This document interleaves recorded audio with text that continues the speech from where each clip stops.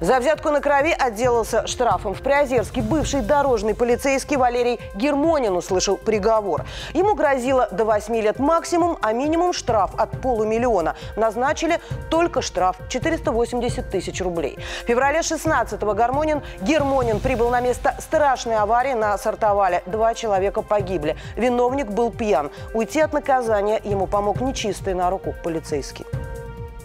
Он предложил инспектору ДПС взятку за непроведение освидетельствования для установления факта управления транспортным средством в состоянии алкогольного опьянения и ненаправления на медицинское освидетельствование. В результате подсудимый получил взятки от водителя, вторую часть через посредника в общей сумме 100 тысяч рублей.